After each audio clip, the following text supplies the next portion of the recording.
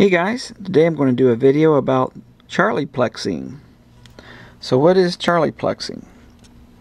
Well, a while back I did a video about display multiplexing where I had eight output lines from a microcontroller, pretty simple microcontroller, and arranging them in an array such as this, I had five rows, three columns, I could control 15 LEDs so I can make an alphanumeric display.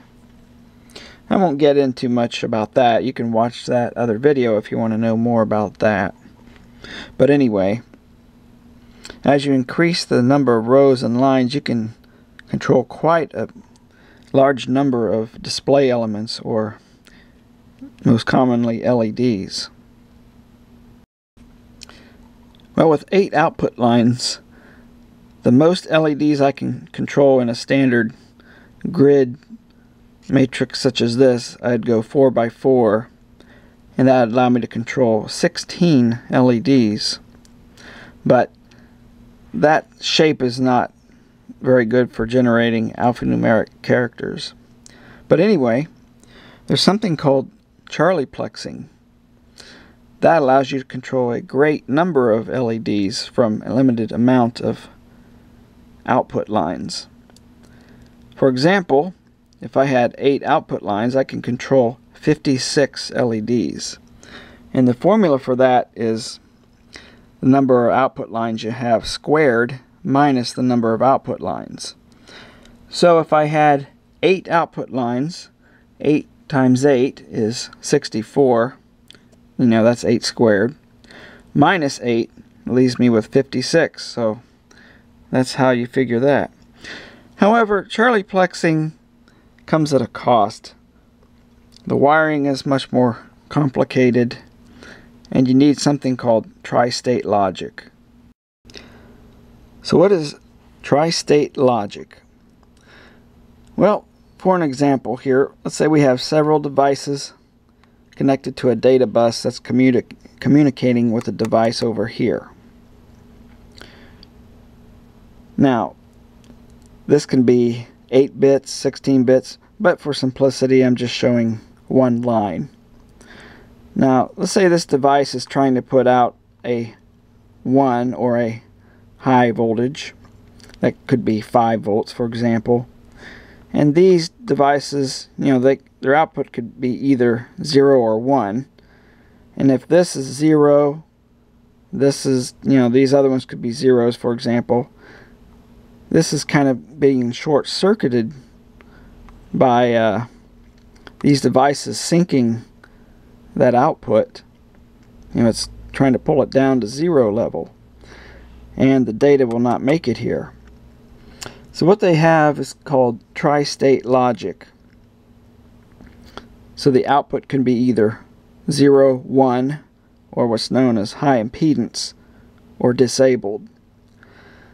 So when the device does not need to be connected to the bus, it goes into a high Z state or high impedance state, effectively disconnecting it from the bus. So this device here that needs to talk to the peripheral or whatever it is, you know, is not impeded in any way by these other devices. In its simplest form, Charlieplexing does not need a tri-state bus. It'll work with just a, a push-pull type output that can source or sink current. And that just be controlling two devices. For example, let's say you want to turn this LED on here. You make this output 1, this one 0. The current would flow this way. Of course, this LED being reverse bias would not turn on. But if you wanted to turn that LED on, you just put a 1 here, 0 here, and now current flows through the LED. Of course, I'm using conventional current flow in this demonstration. So that LED's on, this one's off. And with clever programming, you can do all kinds of things. You could, you know, have them flip-flopping very fast to make them look like they're both on and then you can do fading tricks and you know fade from one LED to the other by using uh, you know a simple form of Charlieplexing. And I've actually seen cheap battery operated Christmas lights that flip back and forth but only use two output lines. Normally you'd have two output lines and ground without Charlieplexing. But with the cheap Chinese LEDs, they want to keep things as cheap as possible and they just have two wires and connect several you know LEDs in parallel on each side and they can do you know fancy strobing and fading effects with two channels like that. In this example we have three outputs controlling six LEDs so 3 squared minus 3 is 6 so you can see the formula working there and like this example, let's say we want to turn these two LEDs on and off here. Well, in the first case, we can have this node high, node 2 low, and current will flow and turn this upper LED on. If we reversed it and made this high and this one low, current will flow this way. However, there's a problem if this is not a tri-state type output, current could flow down this way depending whether it's high or low. So if if this node is high and this is low, and this was low to turn this one on, well, some current's going to go this way as well. So that's where setting this to the high impedance or disabled state doesn't let any current flow. Well, you might think, well, can't current flow around this way? The voltage drop with two LEDs in series would be too much if you're using the 3 volt LEDs. Plus, in my case, I don't have any dropping resistors because the output of this microcontroller is limited and you don't have to use um, the dropping resistors. So this LED is pretty much going to keep the output to 3.2 volts or whatever and in that case these LEDs will never turn on. Now let's take a look at an actual circuit. I have this PICAXE chip, it's just a 8 pin dual inline package and I have these three red wires connected to this group of six LEDs. The white wire here just ties one end back to the other to make that triangular shaped layout I was just showing earlier. This does have a fourth output and I added an LED to it to blink as well. That output I cannot make high impedance so it kind of separate on its own. So I'm actually controlling seven LEDs with this microcontroller. Now you might say, well I can use a a shift register and things like that. But we just want to keep things simple using Charlieplexing here. Okay, let's fire it up. And, well, put this filter in front so maybe you can see it better. You can see I'm individually addressing each of those LEDs.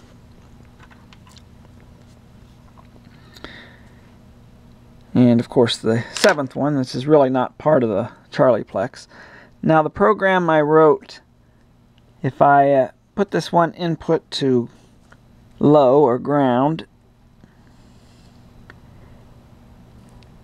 it makes all of the LEDs turn on at once it's actually just going real fast through that and to your eyes it looks like they're all on if I take that back off it goes back to the uh, individual um, display of each LED.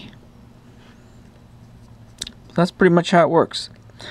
You might be asking, I don't remember a command to set the output to high impedance with these microcontrollers, but there is a way to do it.